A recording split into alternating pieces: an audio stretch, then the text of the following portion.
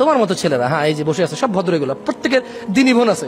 আমাকে এক ছেলে প্রশ্ন করে, একজন দিনী বোনের আমার একজন দিনী বোনের, আমার একজন, আমার আমার একটা বোনের, একবার শারীরিক সমস্যা নিয়ে কথা বলতেছে সে। আমি বললাম, তো তোমার দিনী বোন, তোমার আপন মায়ের পেটের বোন? বলে যে, না। বললাম, কেমন বোন? কয়, দিনী বোন। বললাম, কেমন দিনী বোন? তোমাকে এরকম কথা বলতেছে, তুমি শুনছো? আবার এটা আমার কাছে বলতে আসছো তুমি একটা কোমলমতি, আমার ছোট্ট শিশু বোন, তাকে তুমি ঘর থেকে বের করছ। আর তারপরে তোমার যখন কয়েকদিন তার সাথে থাকা হয়ে গেছে, সব কাজকর্ম তোমার শেষ আর একটা মেয়েকে দেখে বলতেছো যে, লা লা লা লা হারাম। আমি আজহারি সাহেবের ওয়াজ শুনেছি। এগুলো হারাম। সো তুমি তোমার পথে, আমি আমার পথে। এই মেয়েটা এখন তোমার জন্য ব্যাকুল হয়ে গেছে। সে তোমার সাথে কথা বলতে চাইতো না। তুমি তার সাথে পাঁচ ঘণ্টা কথা বলেছ।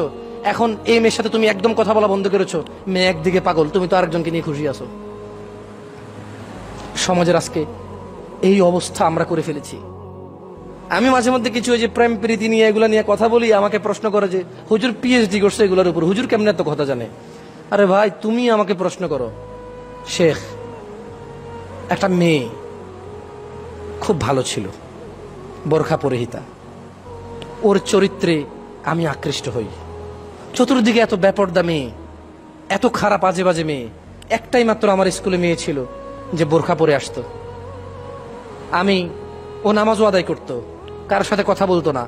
অনেকে ওকে প্রেমপত্র দিয়েছে। আমি ও ওর মধ্যে একজন ছিলাম। সবাই হাল ছেড়ে দিয়েছে, আমি ছাড়িনি।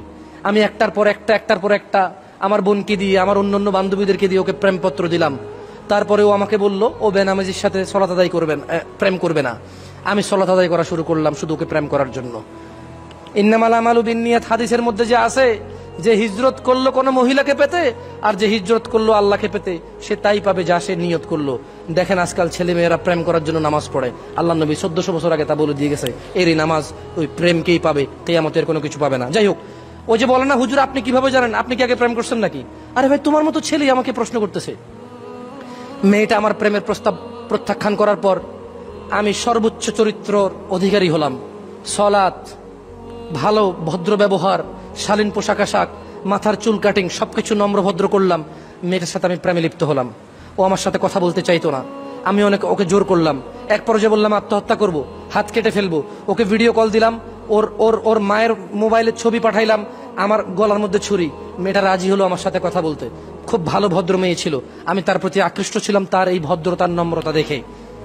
তোমার মতো কোনো ছেলে আমাকে এরকম প্রশ্ন করে। এগুলো, প্রশ্নগুলো শোনার পরে কি আমি বুঝতেছি না এলাকার কি অবস্থা? আমি কি বুঝি না আমার যুবক ভাইদের কি অবস্থা?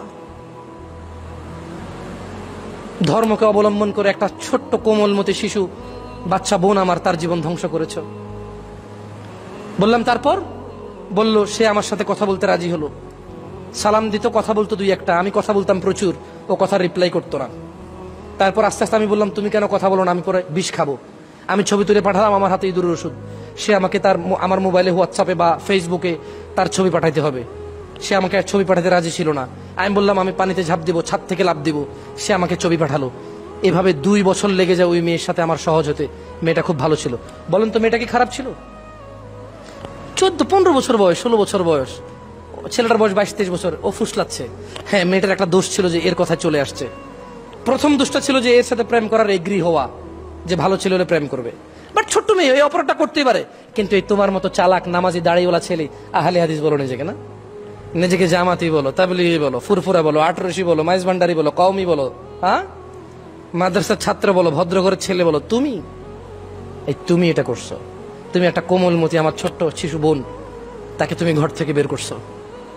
আর তারপরে তোমার যখন কয়েকদিন তার সাথে থাকা হয়ে গেছে, সব কাজকর্ম তোমার শেষ আর একটা মেয়েকে দেখে বলতেছো যে, লা লা লা লা হারাম।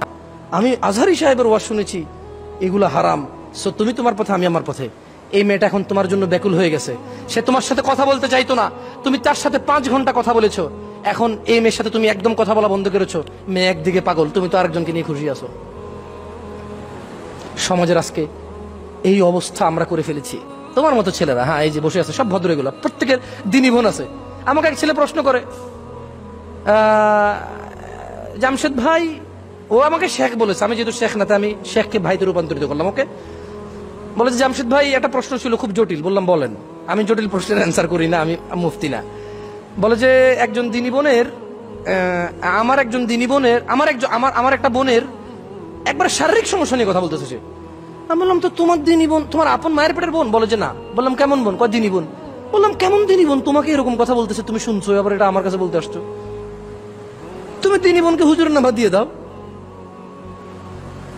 দিনী বোন তোমার সাথে কথা বলতেছে তার মাসিক নিয়ে, তোমার সাথে কথা বলতেছে তার স্বামী, তার সাথে নাকি মানে সেক্সুয়াল ফিটনেস না ফিটনেস নাই।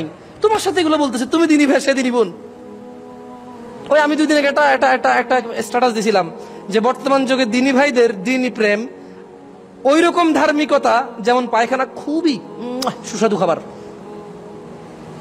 যদি কেউ বলে যে পায়খানা খুবই সুস্বাদু খাবার, আমি বলব যে ওকে, দিনী প্রেমিক আছে। যদি তুমি বলো যে না, দিনী প্রেমিক, পায়খানা সুস্বাদু না, তাহলে দিনী প্রেমিকও নাই।